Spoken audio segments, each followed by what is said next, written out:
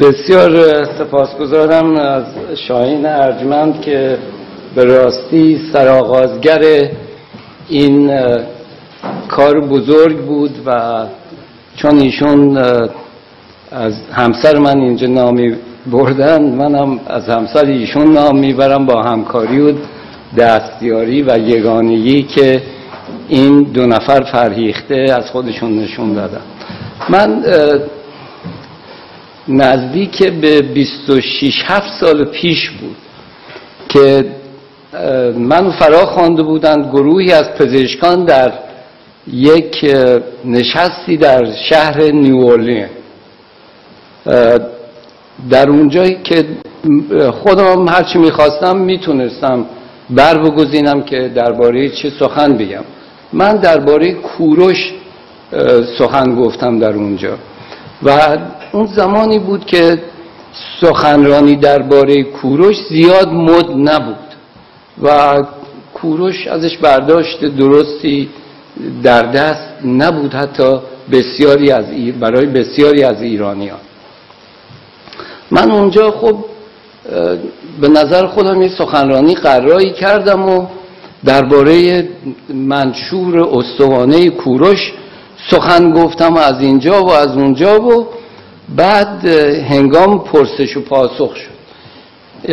یکی از پزشکان حاضر دست بلند کرد و گفت خب این چیزایی که شما گفتی شما یک فرمان روا یک پادشاه رو می‌شناسی که بیاد از خودش یک چیزی به جا بذاره که اونجا بنویسه من بسیار آدم خونخوار و بدی بودم من خراج و باج بر مردم بستم اینا رو از نان خوردن انداختم همه رو اسیر و برده خودم کردم یوغ بردگی برگردنشون انداختم. تو یک نفر می‌تونی نام ببری که همچه حرفا زده باشه. من اول یکی خودم گفتم خب معلومه که این کوروش هم آدم دست و پاچلفتی که نبوده. اومده گفته اینا رو برای من بنویسین و بگین که من این کاری کردم و اون کاری کردم و این شده و اون شده. خب همینطور خدمتون گفتم من یکی خوردم ولی گفتم که ببینید شما این درست پایان جنگ دزرت ستورم بود. اون نخستین یورش بوش پدر به عراق. و بوش پدر وقتی شکست عراق و تمام شدن یورش رو به عراق اعلام کرد در همون سخنرانی. گفت ما به اندازه چهار برابر بمبی که در جنگ دوم جهانی بر سر آلمان ها ریختیم بر سر عراقی ها بمب ریختیم. چهار برابر اون که در جنگ دوم جهانی ریخته شده بود و اینو خیلی با افتخار گفتیم. این ناگاه به نظرم من گفتم بله دوست عزیز ببینید دست کم کمش. این بود که کوروش می‌دونست چه کاری درسته چه کاری نادرست. و ما می‌بینیم که پرزیدنت بوش نمی‌دونه که چهار برابر بمبی که بر سر مردم آلمان ریخته بر سر عراقی ها ریخته زن و بچه این بدبخت های بلازده گرفتار اون دیکتاتور رو کشته این کار نادرستی. و این با افتخار کامل گفت که چه پیروزی بزرگی به دست آورد. گفتیم این در این دور زمان است. 2500 سال پس از زمانی که کوروش زندگی می‌کرد این چنین سخن میگه. و حالا شما از من می‌پرسی که فرمان روای بعدم خب از گزانوفون براش گفتم تنها این جمله رو خواندم برای اینکه حالا درست بگم از رو می‌خوانم برایتون گزانوفون خب می‌دونین که اون کتاب بزرگ سایرسپیدیا سایروپیدیا رو نوشت آموزش های کوروش که من از اون گفتارهایی براتون میگم. ولی این ببین گزانوفون در اینجا چی میگه؟ میگه کوروش یک پدرگونه برای ایرانیان یک پیامبر برای یهودان یک آزادی بخش برای بابلی ها و یک قانونگذار برای یونانی ها این گزنوفون که اینها همشون پدر در پدر دشمن ایرانیان بودن و هر وقت دستشون رسیده آسیبی به تاریخ ما زدن. شما حالا گزنفون با این کتابش به راستی که می‌گویند یک شاهکار کتاب های سیاسی همه دوران هاست و کتاب در زمینه رهبری در همه دوران ها حالا بیشتر درباره این خدمتون میگم ولی هرودوت رو شما بگیرید هرودوت 100 سال تقریبا بعد از گزانوفون به دنیا آمد که میشه نزدیک 200 سال پس از پا جان گذاشتن کوروش بزرگ که در سال 576 کوروش در 576 بی سی پیش از دوران همگانی. همیشه می‌گفتن بی سی بیفور کرایست حالا میگن بیفور کامن era. پیش از دوران همگانی. بی سی ای الان میگن. به هر حال کوروش 46 سال بیشتر از عمرش نگذشته بود وقتی که درگذشت. به هر حال این هرودوت یکی از دروغ نویسترین تاریخ نویسان همه دوران. شما وقتی می‌خونین بیشترین کوشش خودش رو کرده که ایرانیان رو خار و بدبخت هر وقت ایرانیان به یونان لشکری کشیدن می‌گفت که حالا چه برنده می‌شدن چه بازنده می‌شدن. می‌گفت که اینها با بیش از یک میلیون سرباز به خاک ما اومدن. یک میلیون سرباز. اون دور زمونه. دروغ دروغ. بعد می‌گفت که در سر راهش در یک ده کوچک 26 هزار درخت کورش سوزان. دروغ های می‌گفت باور نکردنی که در هیچ جای دیگه ثبت نشده. حالا این می‌گفت یک میلیون نفر برای این بود که اگه برنده می‌شدن ایرانیان می‌گفت بابا اینا ده برابر ما سرباز با خودشون آورد. اگر بازنده می‌شدن می‌گفت که سربازان ما اینا رو شکست دادن. می‌گفت سر... نوشته سربازان ایران آنچنان ترسی از یونانیان در دل داشتن که به محض اینکه قیافه سربازان یونانی, یونانی رو می‌دیدن پا به فرار میذاشتن. می‌گفت دلیلش هم اینه که اینها زن می‌گیرن و اخلاقشون مانند زنان خب یونانیان که در نوشته هاشون ما خوندیم که زنان رو می‌گفتند جانوران درازگیش کوتاه اندیش. فکر کنید در اون زمان که حالا من خدمتون میگم ما ماندانا داشتیم که مادر کوروش بود حالا به هر من اینجا به کوتاهی خدمتون میگم از تاریخچه خانوادگی کوروش. کوروش خب پدرش کمبوجیه یکم بود دیگه. مادرش ماندانا. مادر مادرش پارس نبود. مادرش مادی بود ماد بود. من همیشه نصف شوخی نصف جدی میگم مثل این میمونه که یک شیرازی از یک کرد دختر کرد خواستگاری بکنه. اون پارس بود اون ماد بود. و خب این کوروش رو در جایگاه خاصی قرار داد. در جایگاهی قرار داد که هم مورد اعتماد پارسیان بود و هم مادیان اون رو مادها نگویم مادیان مادها اون رو میپذیرفتن. حالا کوروش تا ده سالگی پیش مادرش در سرزمین ماد به پارس نیامده بود که حالا پیامدهای این رو هم بهتون میگم. و خب کوروش نام همسرش کاساندان بود که یک پارس بود. سه یا چهار فرزند داشت به درستی پیدا نیست. بردیو کمبوجیه دوم نام پدرش رو روی پسرش کجاست به شیوه ایرانیان که بسیار ما این رو در تاریخ می‌بینیم. بردیو و کمبوجیه دوم و دخترش آتوسا و آتوسا و یک دختر دیگه هم که احتمال زیاد دختر خاندش بود. به نام روکسانا که پیدا نیست که صد درصد دختر کوروش بود یا نه ولی در جاهای گفته شده که روکسانا هم دختر کوروش بود. حالا این ببینیم چی کوروش رو ساخت. این در چه زمانی پا به این جهان گذاشت؟ کوروش در حالا یک کمی بریم به دنبال. برگردیم به نزدیک هزار سال پیش از کوروش. ببینیم در اون بخش از میان رودان در اون سرزمین های باختر زاگرس.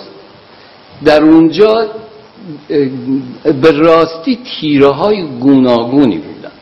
گوتی ها بودن لالوبی ها بودن بابلی ها بودن آشوری ها بودن سومری ها بودن. که البته ناگفته نماند از بین همه کاسی ها بودن. از بین همه اینها این آشوری ها خونخوارتر از همه بودن. نه مردمش فرمان روایانشون از سارگون بگیرین تا آشوربانی پال اینها به راستی جنگ ها که به راه خدایی نکرده. وقتی که پیروز می شدن اینا دیگه به راستی که نابود می‌کردند همه کیسارها رو همه ساختمان ها رو که به طوری که همه از اینها میترسیدند همه اون قبالی که اون دورور بودن. حالا کوروش تا ده سالگی با مادرش بود بعد اومد به سرزمین پارس و با فرزندان شاهزادگان و بلند پایان در آموزشگاه های اون دور زمان که کارشون برخی سواد آموزی و این آموزش های جنگی و اسب سواری و شمشیر زدی و اینها بود در کنار دیگر فرزندان بلند پایگان زندگی دوران نوجوانی خودش را آغاز کرد. نخست کوروش دوران بسیار سختی داشت چون هیچ کس اون رو نمیپذیرفت.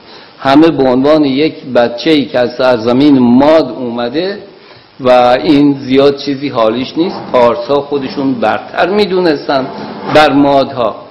و این رو به بازی نمی ولی کوروش یواش یواش با نشان دادن توانمندی خودش هم توانمندی در اندیشه در شیرین زبانی و خوش زبانی و هم در کارهای جنگی.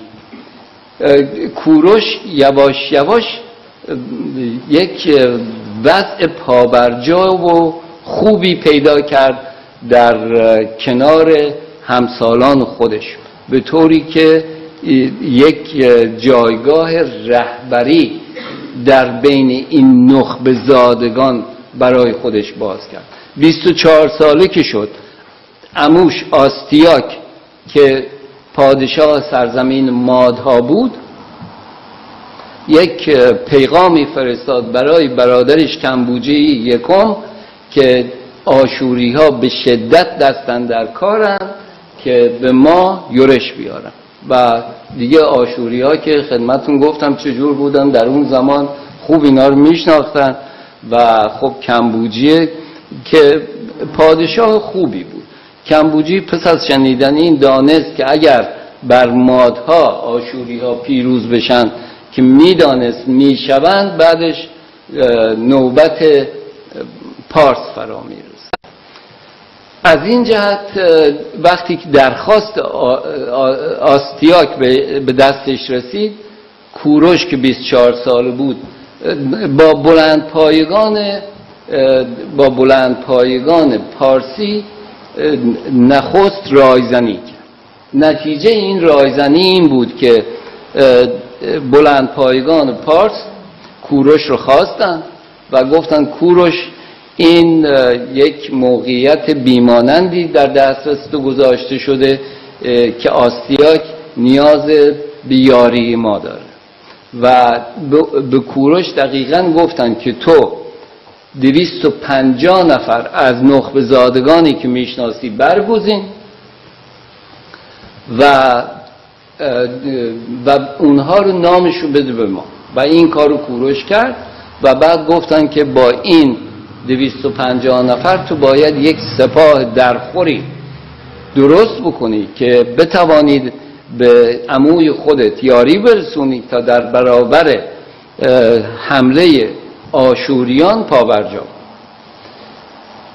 کوروش کاری که کرد از هر کدام از این نخبه زادگان درخواست کرد که چهار نفر رو با خودشون بیار. و در نتیجه هزار نفر افسران آینده کوروش به گرد هم آمدن و کوروش سخنران بسیار خوبی بود. حالا برای این سخن درازا نکشی برای اینها سخنرانی های فراوان می‌کرد و به اینها انگیزه می‌داد. که حالا بعد میگم چگونه چه انگیزه به اینها می‌داد و چگونه می‌داد. به هر حال بعد به هر کدام از این هزار نفر وقتی که گرد هم آمدن گفت هر کدام از شما باید سی نفر سرباز بگیرید بیارید. سربازگیری بکنید و سی نفر سرباز بیارید. سربازام همه دستمزد می‌گرفتن. نبود که به زور اینا رو به زنجیر بکشن و به جنگ ببرن.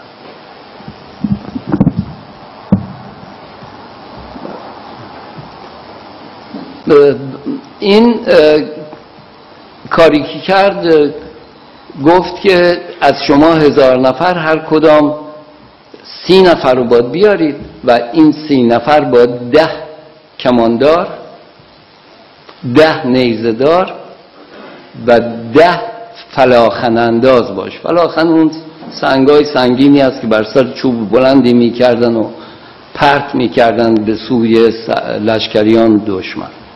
در نتیجه با سی هزار سرباز به یاری اموش در ماد رفت در سرزمین ماد رفت. و حالا من اگر بخواهم که جزئیات کارهایی که کوروش در این سفر کرد براتون اینجا بازگو کنم سخن خیلی به درازا می‌کشه. من بخش های گوناگونی که بیشتر از اون در سایروپیدیای گزنفون که گزنفون کسی نبود که بخواد داستان رو خیلی آب و رنگ بهش بده به خاطر اون ویژگی هایی که خدمتون گفتم. شما ببینید گزنفون یک یونانی بود در صورتی که هرودوت به راستی ایرانی بود. من همیشه میگم این پاسپورت ایرانی داشت. چون در یکی از شهرهای ترکیه که نامش درست یادم نمیاد الان در اونجا به دنیا آمده بود که اونجا بخشی از سرزمین های ایران بود. این ایرانی ببینید چه تاریخی برای ما ساخت که بیشترش دروغ بود. و گزانوفون که رو راست یک آدم یونانی بود هیچ دلیلی نداشت که این بیاد یکی از شاهان ما رو اینقدر بزرگ بکنه. حالا من بخشایی از از آنچه که درباره کوروش و این سخنرانیهاش گفته شده خدمتون می‌خوانم. البته دیگه اینجا گفتن نداره که کوروش با وقتی که این آوازش پیچید گروه گروه سربازان شهر شهر کشورهای دورور مثلا ارمنستان. اون زمان کشور نبود شهر کشور بود. یه شهر نسبتا کوچیکی بود بعد یک سازمان فرماندهی برای خودش درست می‌کرد و این فرماندهان زمان به زمان خیلی پرزور می‌شدن و به شهر کشورهای دیگر یورش می بردن و نه برای اینکه نگه دارن اون سرزمین رو برای اینکه چپاول بکنن برای اینکه بکشن. این کارشون این بود. حالا در اون زمان این کوروش ساخته شد. حالا ببینیم کوروش من یک بخشایی براتون میگم. میگو می‌گوید که انگیزه در سربازان خودتون و افسران خودتون زیردستان خودتون باید به وجود بیارید بی این گونه که به اونها بگویید که بهترین کاری که می‌توانند بکنن این است که کاری باشه که بهره به خودشون برسونه و به همگان برسونه. کوروش در سخنرانیاش می‌گفت اگر کار بهتری دارید از آنچه من جلو پای شما می‌ذارم به اون کار برسید. همراه من نیایید.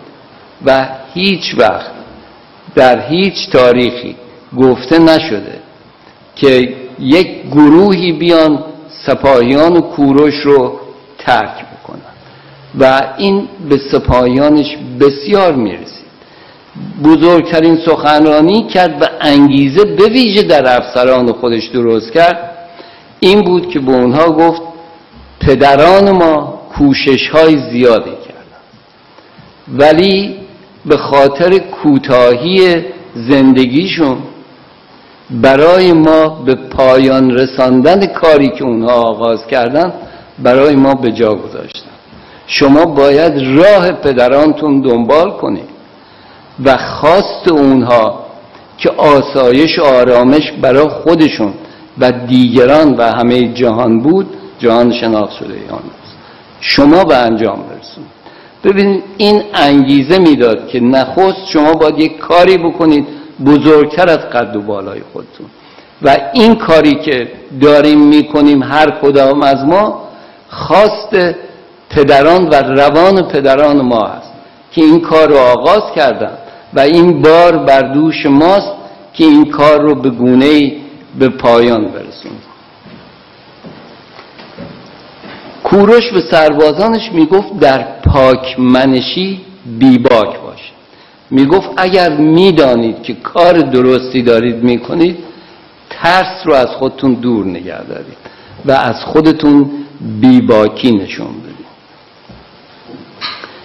چیز دیگری که به راستی هنوز که هنوز از بیماننده کوروش همیشه می‌گفت به سربازان به افسرانش می‌گفت کار من و شما پیشگیری از مرگ و رنج و بیماری است. نمی‌گفت فقط برای خودمون برای پارسیان. می‌گفت برای همه. کوروش می‌گفت اگر جنگی بر شما تحمیل شد در آغاز جنگ تندی از خودتون نشون بدید. سرعت.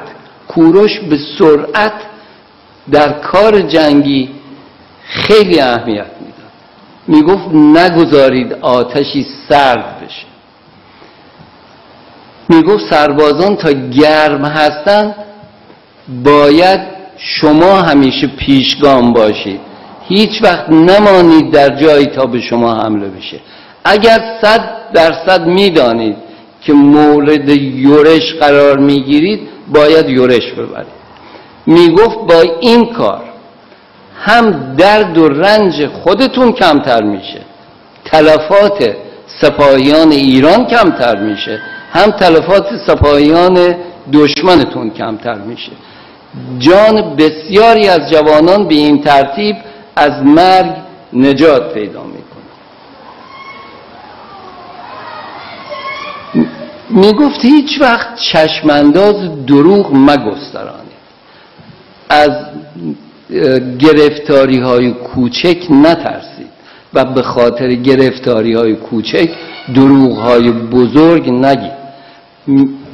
کوروش می‌گفت که شما به سربازانتون برای کارهای بزرگ بیشترین نیاز رو دارید. و اگر اینها دروغ پردازی از شما دیده باشند در آن هنگامی که بیشترین نیاز رو بهشون دارید چیزی دستگیرتون نخواهد شد. چیز دیگری که می‌گفت می‌گفت سربازان و زیردستان خودتون رو بیکار نگذارید. اگر که کار ویژه‌ای در پیش نیست سربازان رو باید به ورزش بگمارید. و برای ورزشکاران و برندگان همتازی یعنی مسابقه همتازی های ورزشی پاداش های بسیار بالا بگذارید. این است که کوروش به تندرستی و ورزشکاری سربازان و افسران خودش بسیار اهمیت می‌داد. و به محض اینکه می‌دید این اندازه دور شکم یکی از افسرانش بیش از اون اندازه که باید باشه شده و یا اینکه سنشون بالا رفته اینها رو به عنوان نمایندگان خودش به این سو و آن سو میفرستن به عنوان سفیر به عنوان کسی که بره و دیدگاه های کورش رو برای دیگران به گونه پخش بکنه و درباره آنها توضیحاتی بده. می‌گفت که از همه نیروها و توانمندی های دوروبری های خودتون بهره بگیرید. و اگر می‌بینید که یکی از همراهان شما سخنران بهتری در جنگاوری بهتره. دست به رقابت با اون نزنین که اونو کنار بگذارید و بگین این از من بهتره. نترسید از بهتر بودن کسانی که در کنار دورور شما هستند بلکه اونها رو به عنوان نماینده خودتون و بگذارید که کارها رو در دست بگیرن در اون زمینه هایی که اون چابک دستی رو دارن.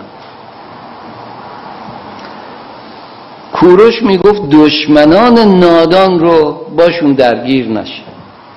اونها خودشون خودشون رو از بین می‌برن. می‌گفت خود, خود استوار باشید.